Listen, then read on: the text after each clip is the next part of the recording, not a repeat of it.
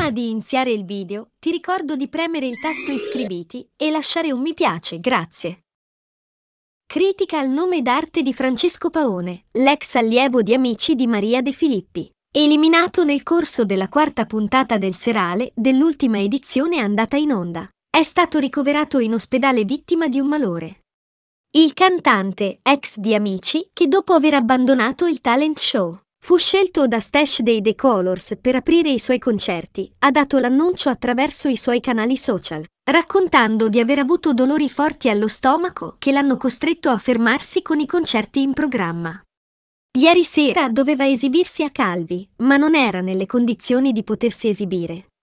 Ieri nelle stories ha spiegato. Purtroppo stamattina mi sono svegliato con dolori lancinanti allo stomaco e sono stato ricoverato in ospedale per una presunta appendicite. Speriamo non sia nulla di grave per Critical e che tutta si risolva nei migliori dei modi.